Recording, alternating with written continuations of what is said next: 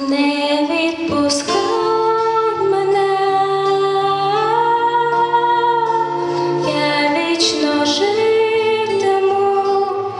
під скронею